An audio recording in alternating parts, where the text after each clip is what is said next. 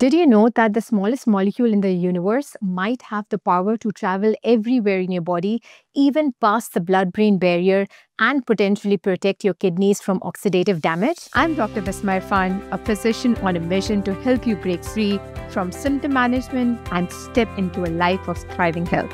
Together, we will uncover simple, powerful ways to prevent disease, restore energy, and take control of your health naturally. If you're ready to stop managing illness and start building vitality, you are in the right place. Your prescription for vitality starts now. Today, we are diving into the science of hydrogen water, what it actually does in your body, and whether it's worth considering for your kidney health. I'm Dr. Bismah Irfan, and if you have been hearing about hydrogen water lately, you're not alone. It's becoming increasingly popular with bottles and machines showing up everywhere from health food stores to social media feeds.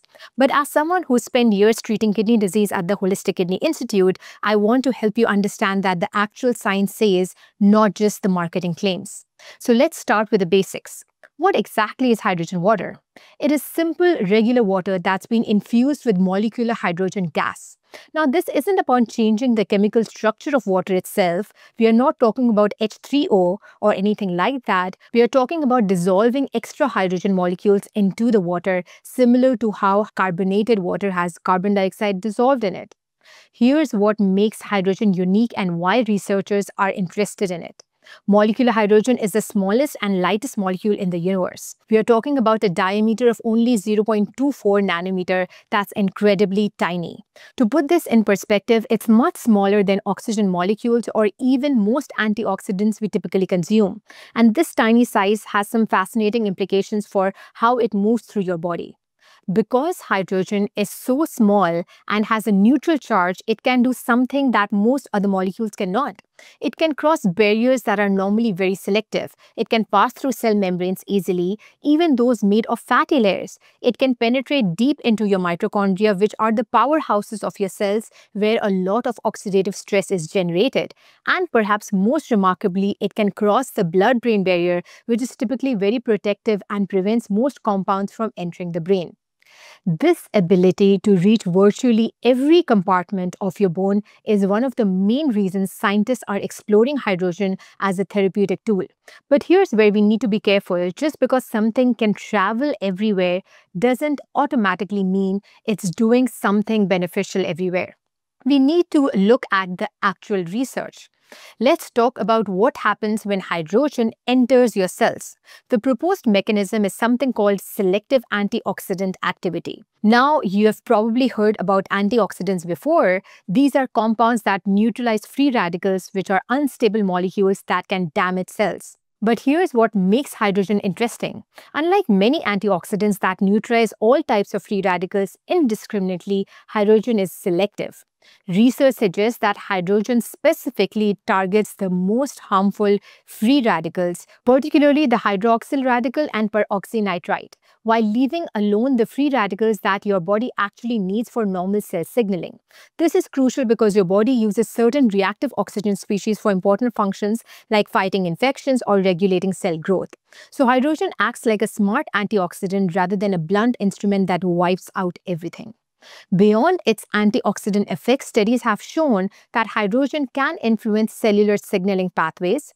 It appears to modulate pathways like NF-kappa B and NRF2, which regulate inflammation and your body's own antioxidant defense system. It may also help reduce the release of inflammatory cytokines and protect mitochondria from dysfunction, both of which are major factors in chronic inflammation, aging, kidney disease, and degenerative diseases. Now let's get specific about kidney health because that's what many of you are probably most interested in. Your kidneys are particularly vulnerable to oxidative stress and inflammation. They process about 200 quarts of blood every single day, filtering waste and excess fluid. This constant work generates a lot of reactive oxygen species and when the balance tips towards too much oxidative stress, kidney cells can become damaged. Several preclinical studies, meaning animal and cell culture studies, have shown that hydrogen can protect kidney tissue from various types of injury. This includes protection against toxin-induced damage, ischemia reperfusion injury, which happens when blood flow to the kidney is temporarily blocked and then restored, and damage from certain medications. The proposed mechanisms include reducing inflammation, protecting mitochondria function, and scavenging those harmful free radicals we talked about. But, and this is most important, is that the research is preliminary. We are mostly looking at animal studies, small human trials for study in healthy individuals rather than people with advanced kidney disease. The evidence is promising but not yet definitive. Let me share what a recent systemic review from 2024 found. They looked at multiple studies on hydrogen rich water and concluded that while it has emerged as a novel approach with therapeutic antioxidant properties, they emphasize that further research with larger sample size and rigorous methods is needed. In other words, we are in early stages of understanding this. Some of the human studies have shown interesting findings. For instance, research on athletes drinking hydrogen water found improvement in markers of oxidative stress and inflammation, better recovery after exercise, and reduced muscle fatigue. A study on people with metabolic syndrome, which includes impaired kidney function, showed improvement in cholesterol levels and markers of oxidative stress. And one small study found that drinking about 2 liters of hydrogen water daily for 14 days increased blood pH slightly and raised bicarbonate levels in healthy young men, suggesting a mild alkalizing effect. That actually reminds me of a patient I worked a few months back, and uh, she was in her late 50s, stage 3 kidney disease. She came to us because her kidney function had been declining and she was experiencing fatigue and some swelling.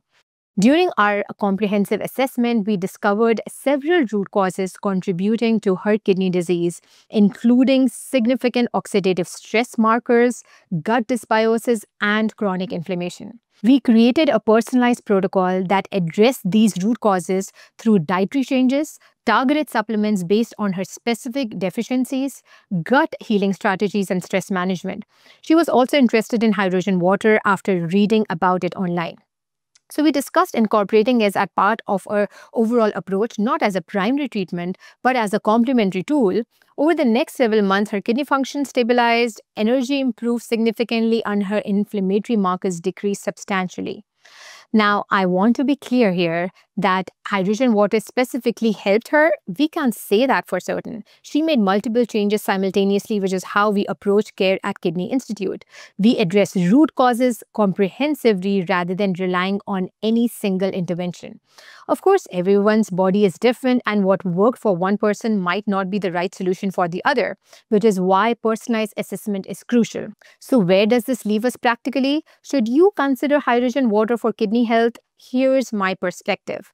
Based on the current evidence, if you are interested in hydrogen water as part of a comprehensive approach to supporting your kidney health, it appears to be safe with no reported serious side effects in the studies so far.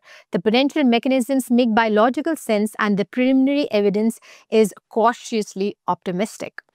However, expectations should be modest. This is not a magic bullet or a replacement for addressing the underlying causes of kidney disease. If you have kidney disease, you need to work with someone who can identify and address the root causes, whether that's blood sugar dysregulation, inflammatory triggers, toxin exposure, gut health issues, or other factors specific to your situation. If you're considering hydrogen water, here are some practical points.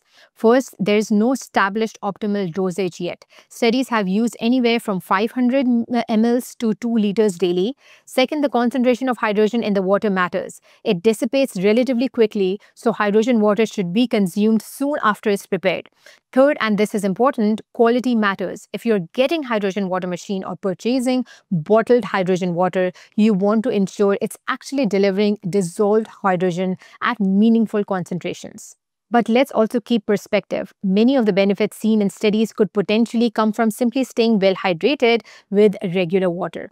Good hydration is fundamental to kidney health, period. The extra hydrogen may provide additional benefit, but we can't ignore the baseline importance of adequate water intake. One area where hydrogen shows particular promise is in reducing oxidative stress. For people with kidney disease, oxidative stress is often elevated and contributes to disease progression. If hydrogen water can help mitigate this, even modestly, while you're addressing other root causes, it could be a useful tool in your toolkit. There's also some preliminary evidence that hydrogen might help with alkalizing effect on blood pH, which could be relevant for people with kidney disease who often struggle with metabolic acidosis. However, this evidence is mostly from healthy individuals, not people with clinical metabolic acidosis. Standard medical treatment for acidosis remains necessary and shouldn't be replaced by hydrogen water. Let me also address cost because this is a real consideration. Hydrogen water machines can be expensive, ranging from a couple of hundred to over a thousand dollars. Bottled hydrogen water can also add up quickly, so you need to weigh whether the potential modest benefits justify the cost for you, especially when there are other evidence-based interventions for kidney health that we know work like optimizing nutrition, managing blood pressure, blood sugar, reducing inflammatory uh, triggers, and healing the gut. At the Holistic Kidney Institute, when patients ask me about hydrogen water, I tell them it is something we can consider as part of a comprehensive plan, but it's not where we start. We start by identifying your specific root causes through detailed assessment, addressing nutritional deficiencies, optimizing gut health, reducing toxic exposures, and managing inflammation through diet and lifestyle. These foundational approaches have much stronger evidence behind them. Here's what I want you to take away from today's discussion.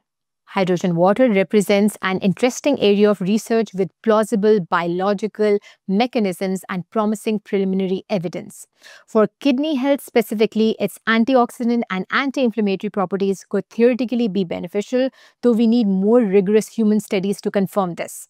If you're dealing with kidney disease, please don't view hydrogen water as a standalone solution. What your kidney needs is a comprehensive approach that addresses why they're struggling in the first place. That means identifying and treating root causes, whether that's chronic inflammation, oxidative stress, metabolic dysfunction, gut dysbiosis, toxic overload, or other factors. Remember, even though I'm sharing this information, I'm not your doctor and I don't know what's specifically going on with your health. The most important thing is not to get caught up in chasing the latest trend while ignoring the fundamentals. Make sure you're drinking adequate clean water, whether it's hydrogen infused or not. Focus on anti-inflammatory nutrition, manage your blood sugar, reduce stress, optimize sleep, support your gut health, and work with a physician who can identify and address your specific root causes. If after addressing those foundations, you want to add hydrogen water as a complementary tool, that's a conversation worth having with your physician. Just don't let it distract you from the more fundamental work of truly healing your kidneys. The science of hydrogen water is evolving, and I'll continue watching this research closely. As we get more robust human studies, especially in people with chronic kidney disease, we will have clear answers about its role in kidney health. Until then, we work with what we know while remaining open to emerging evidence. I hope this gives you a clear science-based perspective on hydrogen water. My goal is always to help you make informed decisions about your health, understanding the healing possibilities. I hope this helps you. Bye now. Thanks for tuning into the Wellness Focus with Dr. Bismah, where we are rewriting the rules of health and giving you the tools to thrive. If this episode spoke to you, please subscribe and share it with someone who is ready to take control of their well-being. Also, please consider leaving a review. It really helps people find the podcast.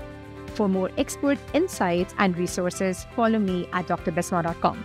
Your health, your power, your vitality. It starts with you. See you next time.